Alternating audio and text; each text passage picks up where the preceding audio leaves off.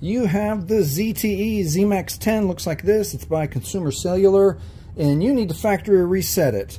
Let me help you. All right, the first thing we need to do is power the device off, power off, power off, power off. Now, I want your phones to last a long time, but, but if you're tired of your ZTE uh, and you need to upgrade, here is the YouTube store and I've got a couple options that might work for you. All right, let's get into it. We're going to hold, it's volume up and power on this one. Volume up, power. Keep holding, keep holding together, and we're going to let go of both when we see the Android right there.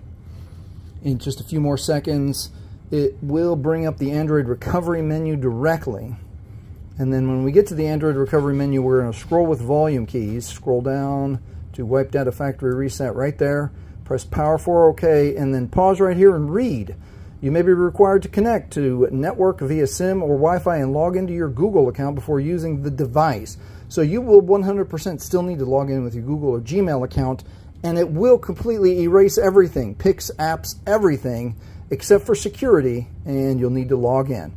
All right, we're going to scroll down one time, factory data set, press power for OK. And now anywhere from a few minutes to a few seconds, you're going to get the data wipe. It's complete message and now it is safe to reboot the system. Remember, you still need to log in with your Google or Gmail account. And again, this channel is all about helping you make your phones last. But if you are ready to change, this is the YouTube store with some suggestions of some upgrades for you. This video has helped you, please like, please subscribe. Thank you for watching.